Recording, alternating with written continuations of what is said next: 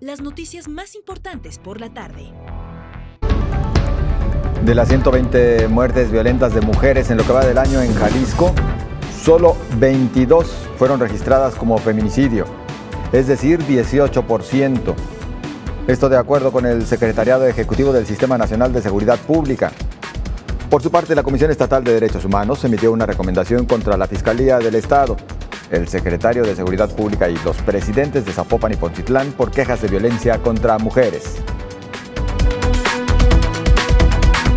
Por lo menos siete integrantes del colectivo Corazones Unidos en busca de nuestros tesoros se contagiaron con un hongo que estaba presente en la tierra en una búsqueda que realizaban de sus desaparecidos en Puerto Vallarta, según informaron en redes sociales.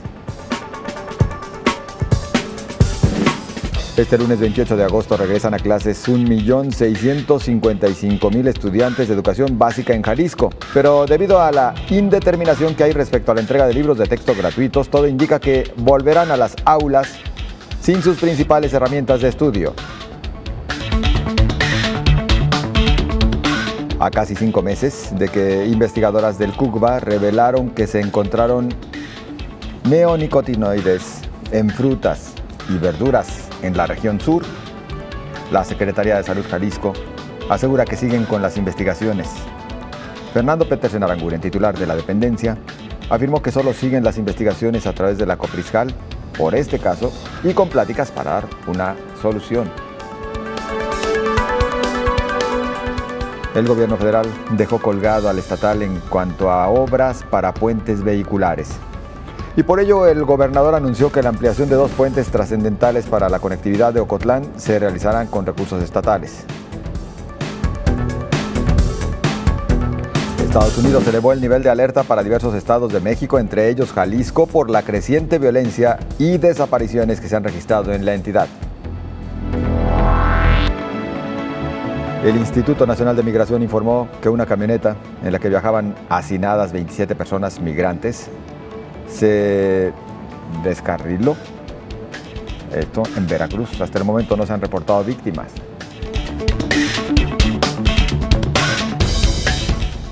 Primera secuencia completa del cromosoma Y humano. Un consorcio internacional de científicos ha rellenado las lagunas que quedaban en más de la mitad de la secuencia del ADN del cromosoma sexual masculino, lo que traerá beneficios para la fertilidad y la salud. Tras ser vetadas de las escuelas, el número de mujeres que se matriculan en seminarios religiosos en Afganistán aumentó ya que la única oferta académica disponible para ellas son los estudios religiosos, donde los talibanes imparten su estricta interpretación de la ley islámica.